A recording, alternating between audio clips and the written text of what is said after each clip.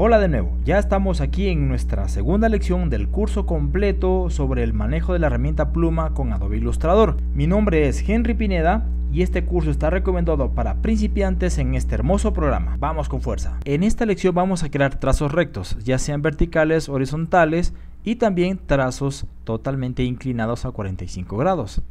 Presionaremos la tecla P en el teclado para activar la herramienta de la pluma como lo tienes ahí Vamos a cerciorarnos que el color de relleno esté por delante, pero para completar esta lección tienes que dar un clic aquí para quitar el color de relleno y poder trabajar sobre la misma.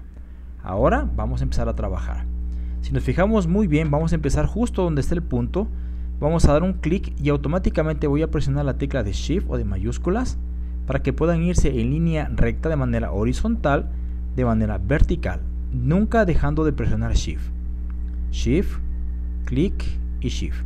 Muy bien, ahí tenemos nuestro primer ejercicio. Ahora nos dirigiremos a la página número 2 y haremos lo mismo, pero así decirlo a ojo cerrado. No importa, clic y automáticamente presionas Shift. Nunca dejes de presionar Shift, sino que el punto al hacer clic te va a indicar lo que tienes que hacer. Clic sin dejar de presionar Shift y clic.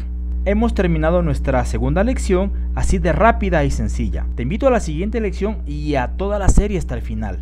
Suscríbete a mi canal y compártela con tus amigos.